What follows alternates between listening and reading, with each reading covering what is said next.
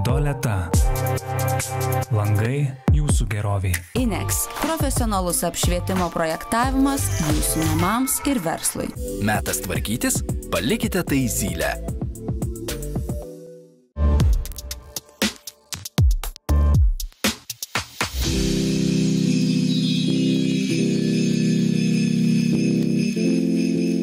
Mėly žiūrovai, nuostabus šventų kučių rytas. Kai rinkome objektą šventoms kučioms, norėjome kažko šilto, nematyto, tinkančio būtent šitai nuostabiai šventiai. Tai šiandien pasikalbėsime su mūsų gerai pažįstama architekte Aurelija Jurkonė, kuri pasirūpino interjeru nuostabaus pastato, neturinčio analogų Lietuvoje ir Latvijoje. Tai yra gyvūnėlių centras, kuriame teikiamos įvairiausios paslaugos gyvūnams. Tai yra šunų centras su spazona, su baseinu, yra edukaciniai užsiemimai, yra viešbutis ir ne tik. Tai daugiau papasakos pati Aurelija, einame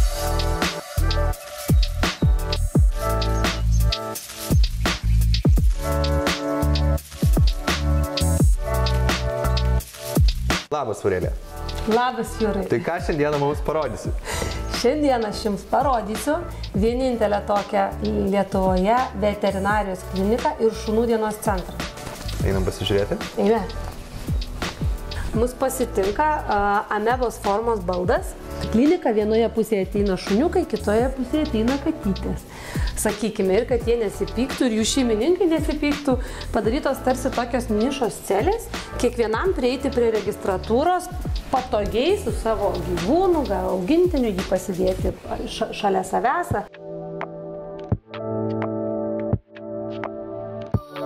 Pirmiausia, kai nubraižiau su kompiuteriu šitą visą eskizą, galvojau, kad tikrai bus neįmanoma tą padaryti. Ir iš tikrųjų pirma mintis nebuvo metalas, mes visą laiką norėjom tą padaryti iš medžio. Bet iš medžio daugybė vyko bandymų, skaičiavimų ir, ir medžiagos išlenkimo kampo galimybių. Ir visgi likom prie metalo, mes labai bijojom, bet pasižiūrim, kad jisai bus teplus. Teisingai, jisai visiškai netepa. Ne, jis visiškai netepa, nes čia nėra kortenos mm. ir mes jį impregnavome ir dėl ko dar buvo pasirinktas metalas, nes mes jo būdu, jo plonume ar ne, galėjome savo leisti įtalpinti milžiniškus stalčius, kuriuose telpa bent tūkstančiai vaistų ar ne. Labai patinka šita recepcijos idėja, tokia auditorinis sprendimas atsisėsti, kaip kilo šitas mintis būtent taip padaryti šitus baldus atsisėdimą. Tai šita idėja kilo dėl to, kad mes turim amebos formos recepciją. Tai ne, netiktų niekas kitas, nei čia pufai, nei foteliai. Kitas dalykas, tai yra um, patogu gyvūnui ir, ir jį pasidėti ne ant žemės, o jį padėti narvelėje, pasidėti šitoje vietoje arba aukščiau, pačiam atsisėsti aukščiau, nuraminti jį, kol tu lauki. Asmeniškai tai viena gražiausių klinikos dalių yra šita detalė, kampinė. Jeigu visi prisimenat, tai stiklo blokeliai dar senais laikais būdavo visą laiką, jeigu mes turim kampą, jie yra lenkti. Tai šitą stiklo blokelį pagal specialų užsakymą pagamino būtent šiai klinikai. Tai yra pusti du, du ovalai ir vienas ovalas yra viduje perpjautas putimas. Mhm. Šitas stiklo blokelis buvo pasirinktas, kad su, sudarytų erdvės jausmą būtent toks, kuris iš vienos pusės būtų skaidrus, o iš vidinės, nors ir dabar vyksta uh, susitikimas viduje, mes nieko nematome, nes jis turi tokią specialią plevelę.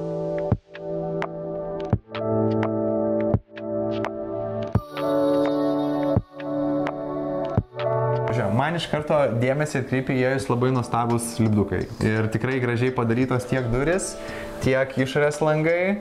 Čia kas tokius dalykus gamina Lietuvoje? Gamina La Fabrika, visur matote tą patį burbuliukų principą, apvalumą, apskritimą, jie mus visur lydi, fabrika puikiai tai įgyvendina. Tai jie užsiema apskritai visais reklaminiais dalykais ir logotipai ant pastato, aš suprantu. Logotipai ant pastato, visos kortelės, plėvelės, šitos, mm. kurias matote.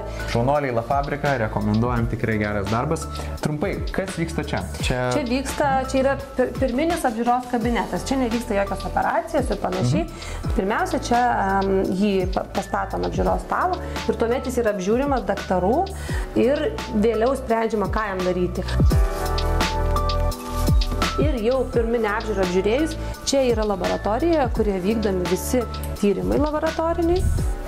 Ir tuomet mes jau atlikę apžiūrą, palaukę, sužinoję mm, kažkokius rezultatus, vykstame į gilesnę klinikos dalį, kur atliekami dar svarbesni yra tyrimai. Grindys turėjo būti vinilinės, todėl kad jos tik tokios tinka šunų nagams gyvūnų, jos neslysta, jas galime dezinfekuoti. Ir praktiškumas vienareikšmiškai su plokštėm, ne? Lygiai tą patį, visi čia galvoja, kad čia yra plokštė, bet mm. išduosiu paslapti, čia ne plokštė, čia visgi yra ta pati grindų danga, okay. kurią mes galim dezinfekuoti, plauti, valyti ir šunys gali ją draskyti, lipti, šokti ir jai nieko neatsitiks. Geras.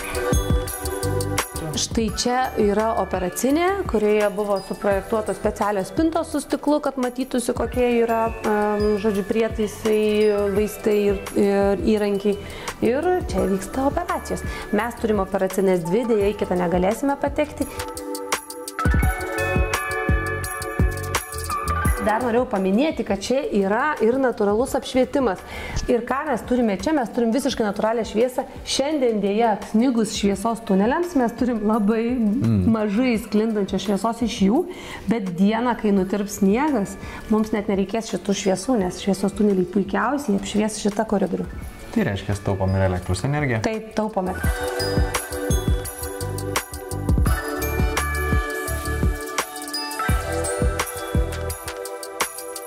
Dabar sveiki atvykę jau į gerų namų zoną.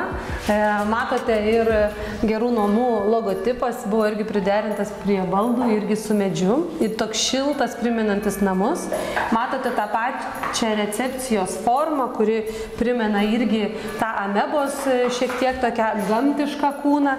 Ir tą patį, tos pačius suoliukus, kaip ir buvo didžiojoje recepcijoje. Aurelija, iš tikrųjų esu labai maloniai nustebintas pačia darbų kokybė. Ir gipso suleidimai, kampai, baldai, viskas apskritai. Um, tai buvo samdomi atskiri būtent meistrai ar turėjot vieną kompaniją, kuri viską gyvenino? Vieną kompaniją, statybų paletę turėjom, stiklo blokelius taip pat nuostabiai gyvendino, padarė. Tai, jie tikrai įsijautė, dirbo ir labai tvarkingai švariai. Tai meistrų kokybė tikrai esam patenkinti. Šanuoliai statybų paletė. Ir um, už recepcijos mes turime zoną, kurioje yra mūsų didysis šuniukų viešbutis. O, užeinam. Girdėjau tokį gandą, kad šitiems čia jaunuoliams taip patinka būti šituose geruose namuose, kad jie net nenori eiti namo. Kai kurie netgi atsisako eiti namo ir nori likti čia. Gyvūnai, šuniukai yra kaip vaikai, tai jiems reikia žaismingumo, jiems reikia detalių, na ir vadovė sugalvojo, kad visgi čia jie mėgos, čia jie turi nusiraminti, čia iš tikrųjų mes dabar turim šviesą, bet iš tikrųjų čia bus prislopinta, e, švelni šviesa ir žvaigždutės šviečiančios. Kur keliaujam toliau? Keliaujam į pačią įdomiausią erdvę, pamatysite. Na va, ir patenkame į pačias tokias dailiausias, ar ne, gerų namų erdvės, pačias didžiausias, erdviausias. Matote, kokios lubos. Gal primena kokią nors koncertų salę, ar e, iš tikrųjų šitos lubos atsirado tokios dėl to, kad čia buvo paslėptos e, senos sijos ir ventiliacijos sistema mums liepia nuleisti jas labai daug. Irgi atsiranda tie patys stiklo blokeliai, jų aš nepamiršau ir čia, su tais pačiais apskritimais. Mm, taip pat e, šitoje salėje vyksta kineziterapija, mankštos, joga šunims. Labai jauki salė, labai patinka apšvietimas ir labai patinka, kad daug langų ir apskritai mes esam čia tokioje nuostabioje vietoje, matom mišką ir šiaip šiandien yra kūčios. Kada jūs žiūrite šitą laidą, tai tikrai žiemiška, labai labai graži diena. Jūs papasakokite pati, kaip apskritai gimė šitą klinikos idėją. Nu, čia yra senas svajonė. Tikrai kiek turiu namuose piešinių, kaip viskas turi atrodyti ir labai daug aplankiau tokius vietas užsienyje, tai ir Suomijoje, ir Amerikoje. Um, ir gimė idėja, um, pradėjau, man atrodo, 17 metais dirbti su prieklaudos šunimis, tiesiog dėl to, kad esu Suomė, tai pradėjom ieškoti namų prieklaudos šunim Suomijoje. Tai dabar jau beveik pusantro tūkstančių lietuviškų prieklaudos šunų gyvena Suomijoje. Ir ta, tas šuns priežiūras, kad savininkai iš anksto pasirūpina, kad viskas būtų gerai su raumenims, ne? kad visokių manksta, tresiravimas šunim. Ir labai labai norėjau tokią vietą ir Lietuvoje. sukurti. Čia tikrai yra didelė svajonė ir įsipildė, įsipildė visą svajonę daug metų, ką, ko norėjau, ką galvojau ir viskas čia dabar yra. Ir šitas, kai atėjom, atėjom į šitą vietą, čia buvo iš karto meilė kad čia mm. viskas vis jautė, vis... kad čia. Ne? Žinokit, kartais, kai ieškai vietos, reikia kompromisuoti, ne? Nu, kompromisus. Nu, gal čia nėra toks miškas, ar čia gal nėra toks kiemas, bet čia viskas buvo, net tas tvoras aplink kiemą buvo šunim tinkamas, kur tik trijų metrų metalinės tvoras, tai ne viena husky šoks per tą tvorą. Wow, įspūdinga erdvė. Taip, šitoje erdvėje jau pavyko man tokia stadiono principo pačias didžiausias juostas, ledus aterti didžiausią dalį sijų. Išėjo tas wow efektas. Mes turim nuostabų vaizdą pro langą į stadioną, į mišką. Turim dušus, turim Taip. baseiną, tai tokia visiška spa zona. Iš tikrųjų mažai kom skiriasi nuo tam tikrų spa zonų logikos, tos pačios, žinai, iš kiemo. Mažai kuo skiriasi ir žmonės įrenginėja čia bas, baseiną, darė sienas, lubas, apšvietimą, tikrai sunkiai patikėjo, kad čia bus gyvūnams skirta. Tai, tai ne, ne tik tai sportui skirta, bet tai ir rehabilitacijai skirta, mankštoms. Ir mes turim ne tik baseiną, mes turim dar ir e, hidroterapijos bėgimo takelį. Čia yra toksai kaip, kaip, kaip čia pasakyti, kaip grindys, kurias galima kilnoti pagal šuns e, ūgį. Ir tuomet e, šuniui yra paduodama tam tikra srovė pagal jo pajėgumą, svorį, traumos lygį ir panašiai. Netgi sveiki šuniukai čia irgi ateina mankštintis, nes taip yra auginama jų raumenų grupė. Tikrai nuostabus projektas. Pasakyk, kas tau pačiai buvo smagiausia įgyvendinant? Smagiausia man buvo bendrauti su nuostabia užsakovė Lisa. Jos šypsena viską pavergė, kad ir kokie sunkumai buvo, mes viską išsprendė, manau. Mes čia turim pusantro tūkstančio kvadratinių metrų, tikrai nemažas statinys, objektas. Turime daugia funkcinį pastatą ir mums pavyko jį gyvendinti. Ir aš labai džiaugiuosi, kad čia žmonės ateinantys ir klientai ir darbuotojai džiaugiasi rezultatu. Aurelija, ačiū tau labai, ačiū, kad skiriai laiko ir pasikvietei mus į šitą nuostabų pastatą. Linkime tau kaip visą laiką kūrybinio įkvėpimo ir pasimatysime su tavimi jau sekančiose mūsų laidose. Iki.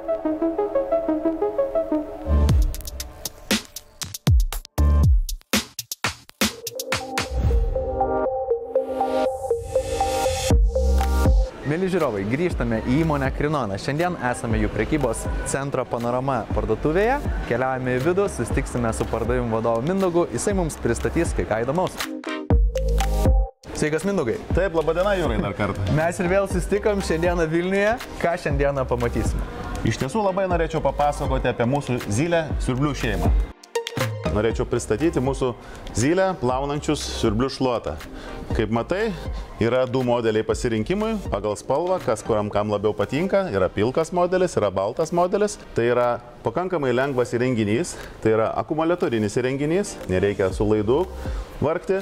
Jisai turi švaraus indo plovimui, nešvaraus indą surinkimui. Kaip matom, du skirtingi volai. Vienas volas be šerelių, tai yra skirtas grinai išplauti lygias grindis. Antras su šereliais yra skirtas kilimams, tai reiškia, kas namie turi augintinių, katinėlių, šuniukų ar ten dar kažkokių mažesnių, tai šepetėlių pagalba puikiai iš kilimo bus išplaunam, iš, išvalomi visi plaukai, nešvarumai ir taip toliau. Ir matau parašyta UV. Ką reiškia UV? Taip, šiai dienai iš tiesų po koronaviruso, kuris dar niekur nedingęs, ultravioletas patapo kaip simbolis, tai yra bakterijų virusų naikinimui. Šitas siurblys jisai turi integruotą UV lempą, kuri siurbimo metu jinai žudo bakterijas ir virusus. Ir čia dar turim, kaip sakė, kaip suprantu, kažkokį savaminį įsivalymą, kaip, kas čia per dalykas. Jo, be abejo, nes tai yra labai svarbu.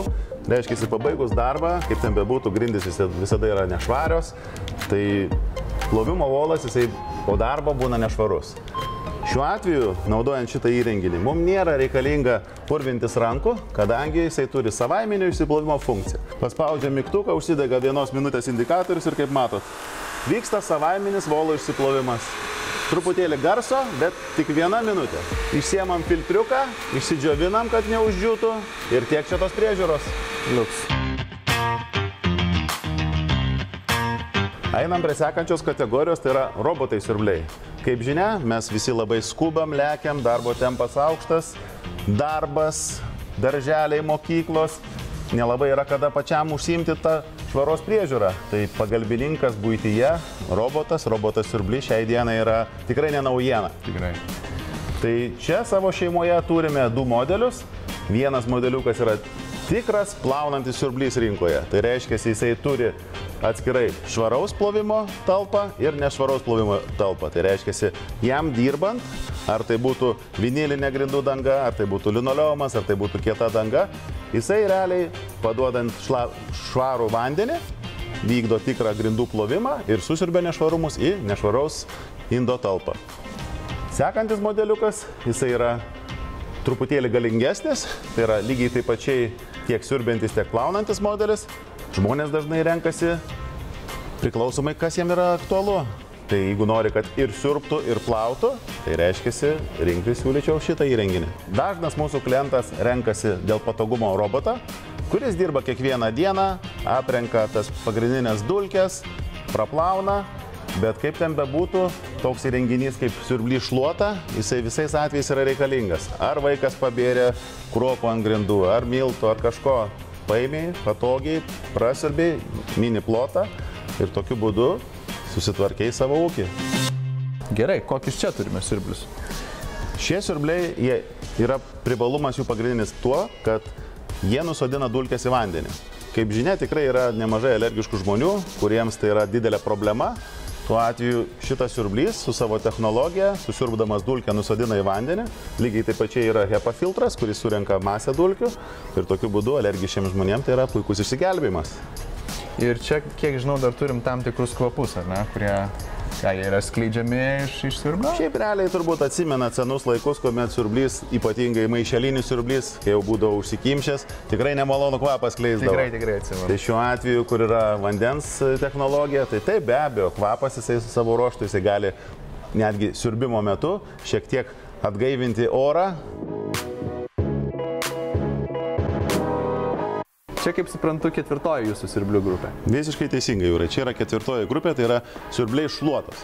Prieš tai pasakome apie plaunančius siurblių šluotas, čia yra tik siurbliai šluota. Kaip Gerai, kokie jų pagrindiniai tada išskirtinumai, nes šito dizainas man iškart labai patraukė akį, futuristinis toks. Taip, Jūrai, visiškai teisingai. Tai yra mūsų naujausias modelis. Iš tiesų labai lengvas, patogus, manevringas. Mm. Yra dar vienas didelis privalumas, kad tai yra ir mažasis siurbliukas. O, super. Reiškia, norint išsisiurbti automobilį, nuo sofos trupinius nusirpti. Du viename. Lengvas, patogus. Ir galingas, aš suprantu, ne? Taip, jis yra 500 W galingumo, tai iš tiesų kaip tokiam pakankamai nedideliam įrenginiui, tai yra pakankamai didelė gale. Ir matau veikimas iki 65 minučių, tai čia praktiškai visus namus gali išvalyti ir nereikia. Taip, visiškai teisingai. Jisai turi tris, tris galingumus, pirmą, antrą, trečią, nu tai be abejonės. Jeigu jungsim trečią galingiausią, tai tiek ilgai nedirbs, Okay. bet trečias galingiausias, jisai dažniausiai reikalingas kažkur arti prie durų prasisiur, kur daugiausia nešvarumų. Šiaip paprastai, jeigu yra lygi graži danga, užtenka net ir pirmo greičio, kad puikiai įsisiurp namus. Dar norėjau parodyti vieną patogų dalyką, mažesniam žmogui ypatingai, jeigu reikia nusiurpti voratinklius. Tai čia yra, va, kaip matai, kelių sekundžių klausimas ir mes aukštai pasiekėme iki pat lubų kampų ir puikiai, puikiai nusirenkam voratinklius, dulkes šito agregato pagalba. Šita tai funkcija tikrai gera, nereikia lipti niekur, viską pasiekti.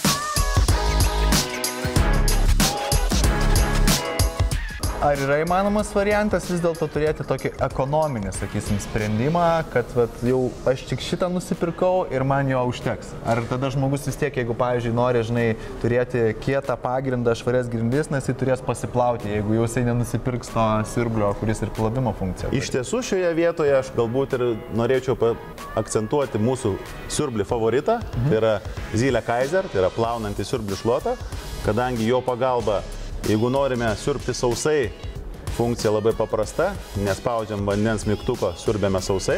Jeigu kažkur norime prasiplauti, vandenį dozuojame patys, jeigu yra labiau išmurzintas pagrindas, daugiau vandenuko, mažiau, mažiau vandenuko. Šiandien dienai, kai mes turime tokį pakankamai bjaurų orą, šlapdriba, murzina, Tai atėjus į biurą, dažnas iš mūsų, kad ir kiek bevalytumėm kojas į kilimėlį, nu tikrai prinešam tų nešvarumų. Tai vad būtent Zylė Kaiser plaunantis siurblį šluotą, šiuo atveju biurams, ofisams tai yra puikus pagalbininkas. Tai yra lengvas, manevringas įrenginys, kurio pagalba per minutę, per pusę minutės mes išsisiurbsime ir tuo pačiu išsivalysime ir nusausime grindis. Tai ačiū, kad pristatėjai šitas nuostabes prekes. Tai yra antras mūsų susitikimas ir Kvinona nesiliauja mūsų stebinti. Tai tikimės patiko ir žiūrovams ir pats paminėjai, kad pritaikysi tam tikrą akciją. Taip, Jūrai, kadangi mes turime šventinį periodą ir norisi, kad tos šventės tęstųsi kuo ilgiau, tai nuo gruodžio 24 dienos iki sausio 15 dienos Krinona fizinėse parduotuvėse ir internetinėje parduotuvėje siurblių kategorijai taikysime net 15 procentų nuolaidą. Tai žiūrovams nuolaidas kodą pamatysite ekrano apačioje, o Mindaugai dėkojame tau dar kartą ir tikime susitikti su tavimi ateityje. Taip, Jūrai, buvo malonu. Buvo malonu. Į sekančių susitikimų. Iki.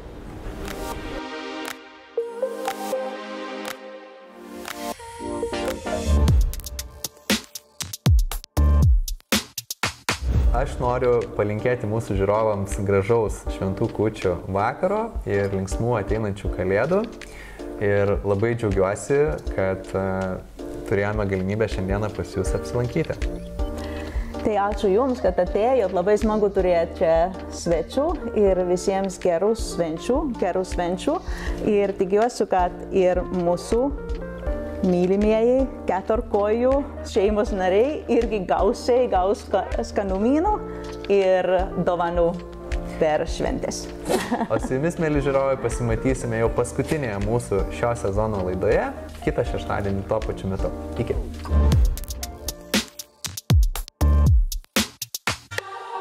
Doleta. Langai jūsų geroviai. INEX - profesionalus apšvietimo projektavimas jūsų namams ir verslui. Metas tvarkytis, palikite tai zylę.